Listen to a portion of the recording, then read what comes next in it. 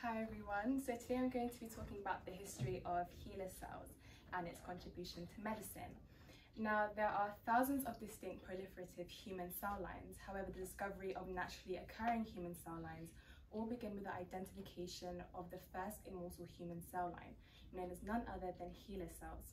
Now, to understand entirely the unfathomable impact of HeLa cells to medicine, we must begin with the woman behind the cells.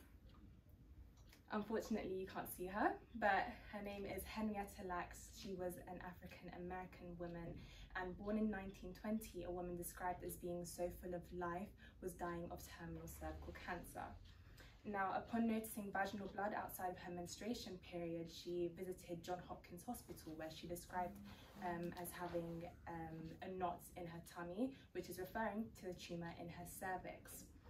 Now today, cervical cancer is much easier to treat.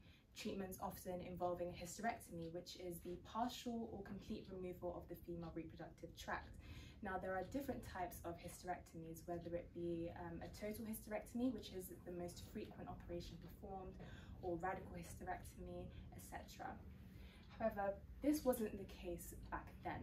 So you have Richard Tillend. So he was one of the top cervical cancer experts in the US at the time. This is in the 1950s. Now, he did things such as pioneering the use of um, estrogen to treat symptoms of menopause, as well as making early discoveries about endometriosis. Now, um, he correctly argued that carcinoma in situ, which is Latin for cancer in its original place, or you may want to think of it as non-invasive carcinomas, are just an earlier stage of cervical cancer. Now he um, he gained a lot of backlash because he would often treat um, non-invasive carcinomas with um, hysterectomies when a lot of people argued that you can just send them home, like it's not that deep. So unfortunately you can't see it, but you have invasive carcinomas and non-invasive carcinomas. As I explained, carcinoma in situ is Latin for cancer in its original place. Essentially what that is describing is how the cancer has yet to penetrate the surface of the cervix and spread to surrounding tissues. Now with um, invasive cervical cancer, that is cancer that has spread from the surface of the cervix to tissue deeper in the cervix or other parts of the body. Now, Without um, informing Henrietta, doctors took a sample of cells from her, the tumour in her cervix and what they did was that they gave this sample to Dr. George Gey. Now, he was a very prominent cancer and virus researcher who was very determined to cultivate the first immortal human cell line and would soon later prove successful. Now, previously they had tried to cultivate immortal human cell lines, however they would, all, they would always fail and if they were to succeed, these cells would usually die after a couple days or a couple weeks in vitro, so in a test tube. However, what made HeLa cells different was that they had an overactive telomerase enzyme. Now naturally, our cells, they age and as they divide the ends of the chromosome called the telomeres, they get shorter. Now if they get too short, then um, the cell can no longer divide and it becomes inactive or senescent or apoptosis may occur, which is programmed cell death.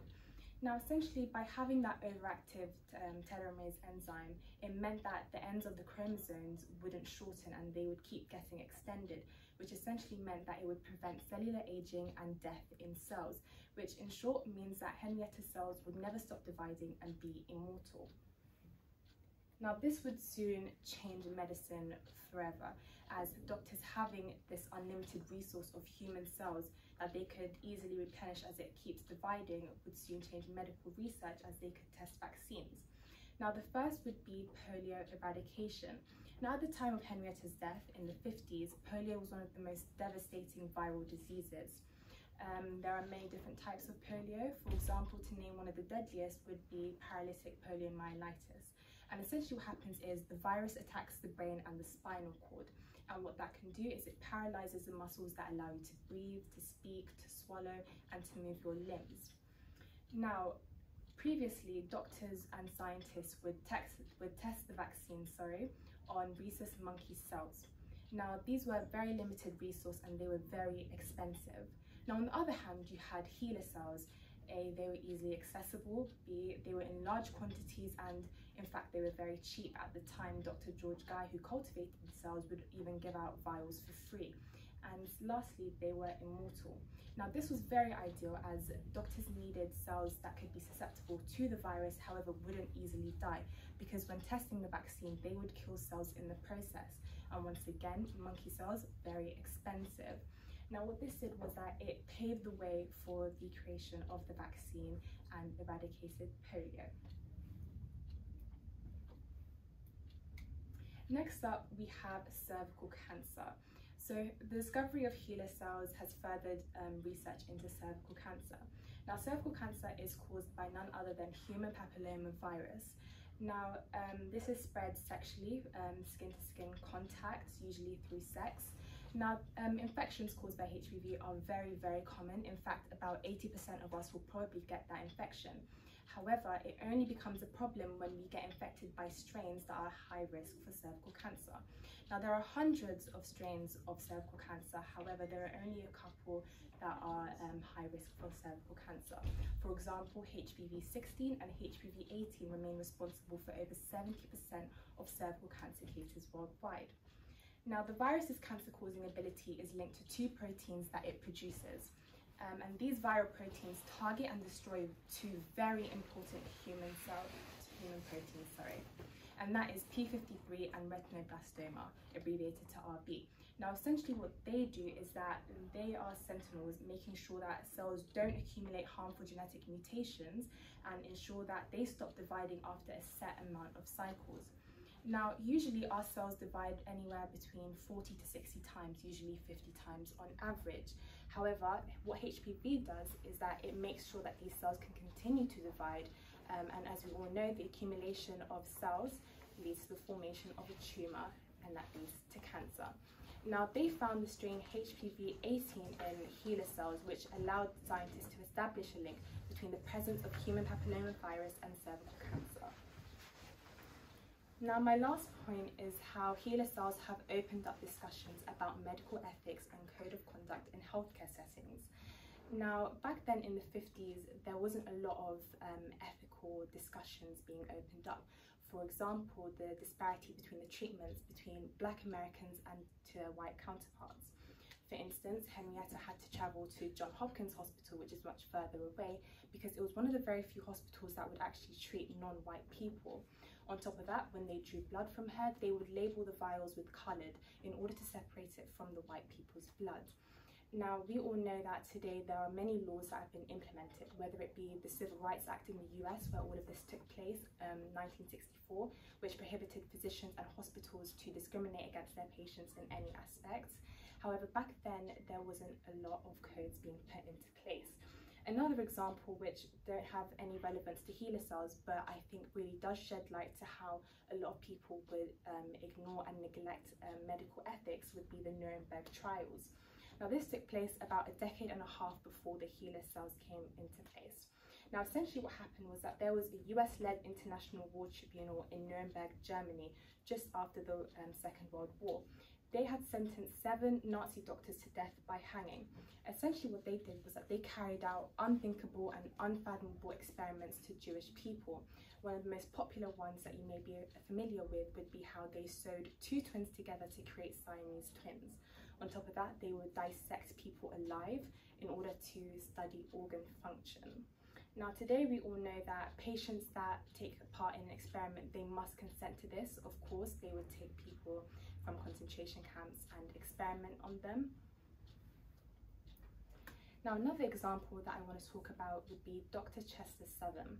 Now what he did was he injected HeLa cells and other cancerous cells into patients whether it be cancer patients or just healthy prisoners.